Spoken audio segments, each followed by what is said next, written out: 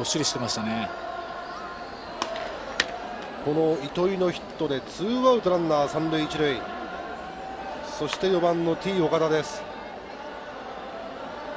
えー、今日は先制タイムリーツーベースの後先ほどの打席ヒットを放ちまして。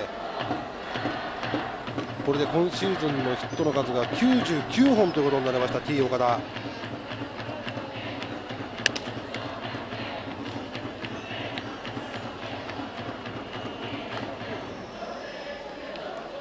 シーズン途中からこの4番に座るようになりましたね、T 岡田ね、はい、本来ねあの定着してほしかったとは思うんですけどもね、はい。はい、まあ、今年はバファローズの重量打線中島が加わって、まあ、ブランコも加わって、はい、まあ、そして小山も入りまして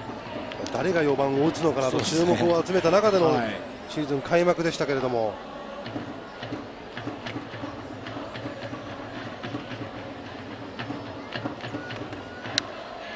そんな中、生え抜きの T 岡田も負けられないとそうです、ね、そんな思いはあるでしょうね、はい、本人もねあの序盤苦しんでましたけどもねあのしっかりここに来てねあの安定感出てきましたよね。はい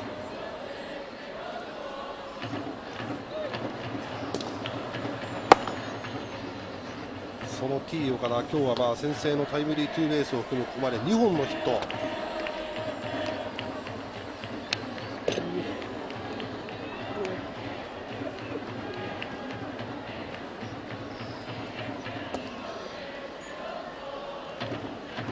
ここは先にこの浜谷が追い込みました、はい、先ほども言ったようにねあの変化球がここ左バッターとスライダーだけになってしまう可能性があるんですよね、ええ、これはうまく合わせた。今日3本目のヒットタイムリーになりました T 岡田。うまく合わせていきました。やっぱりこう開くのを我慢さえすれば外のまっすぐ、外のスライダーということでこう絞りやすいと言いますか今みたいにこう軽打で対応できるんですよね。うん、T 岡田からしてみたら